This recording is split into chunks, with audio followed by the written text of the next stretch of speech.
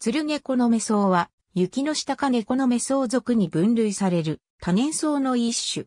種小苗は草で枝を持ったを意味する。和苗は草で枝を伸ばし繁殖し、果ての方線が猫の目に似ていることに由来する。別名が姫猫のメソウ。草で枝は花の後に急速に細長く、地を張って伸び、先端から根を出して、新苗を作る。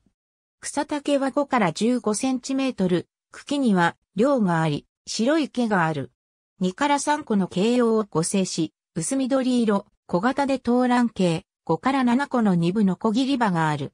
形容には、傭兵があり、普通線形で、基部は鈍形、または切れ形、長さ2から8ミリメートル、幅3から9ミリメートル、無毛、上円に5から7個の2部頭、または円筒に終わる巨子がある。ツトの下部のものは茎部と同じで、上部のものは卵型。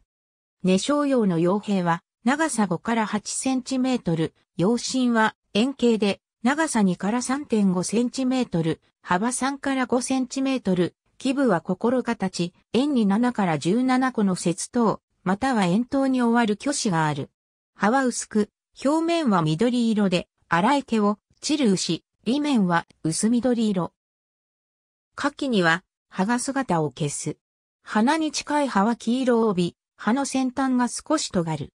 花茎の先は枝分かれし、薄黄緑色の小花を平らかいする。花の直径は3から6ミリメートル、短い花柄がある。4個の学片は高卵形で、夏季に平ら開けし、緑色マラは黄緑色。花弁はない。花番は黄色。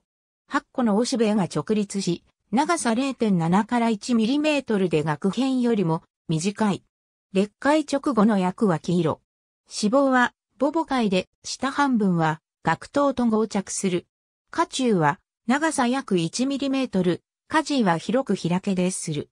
種子は卵形、または超卵形で長さ約 0.6mm、一量があり、平滑だが微細な入島状突起がある。